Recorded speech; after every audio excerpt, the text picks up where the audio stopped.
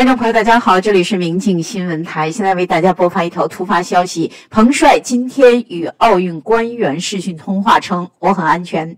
据路透社报道，国际奥委会表示，中国网球明星彭帅周日与国际奥委会主席进行了视讯通话，并告诉他自己平安无事。此前，西方国家政府对彭帅的健康状况表示了越来越多的关切。当天早些时候公布的彭帅在北京儿童锦标赛上的照片和视频，并没有平息这种不安。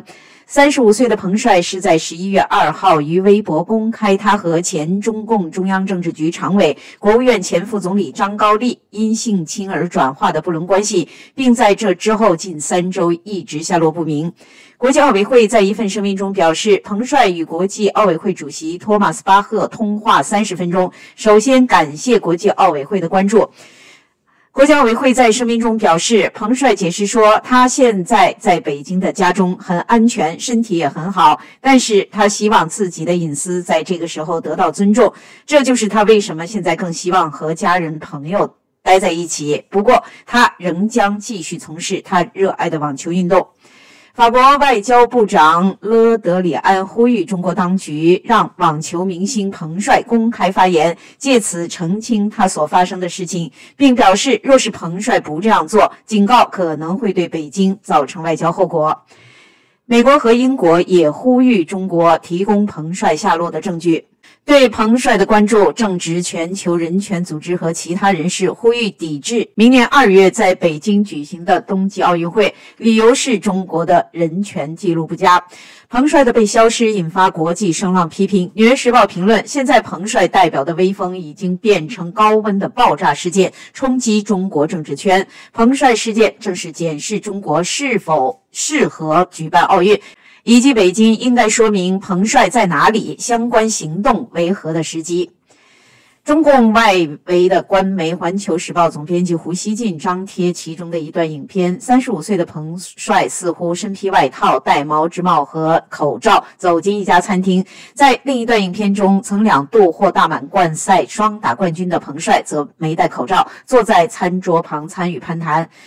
法新社无法验证影片的真伪。胡锡进后来在推特以英文发推文表示，第二段影片显示彭帅和他的教练及友人在一家餐厅吃晚餐。影片内容清楚显示，那是于北京时间周六二十号拍摄的。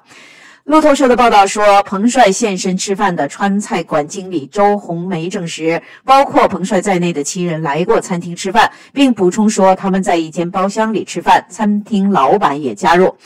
除了路透之外，Sky News 记者 Tom Cheshire 也跑去餐厅求证。他在推特上写道：“我们去过中国官媒影片所指的餐厅和体育馆，两名工作人员告诉我们，彭帅去过那里。除此之外，我们对他的情况一无所知。”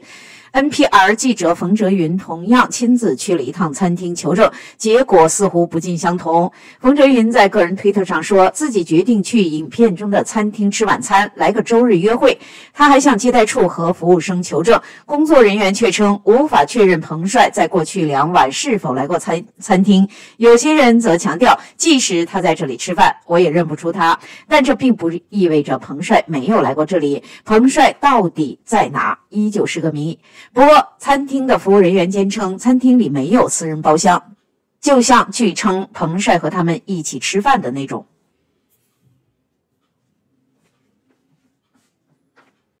谢谢您收看《明镜新闻台》，敬请您点赞、分享、订阅、推荐给您的亲友，恳请您点击节目内容简介里的 PayPal 链接支持我们。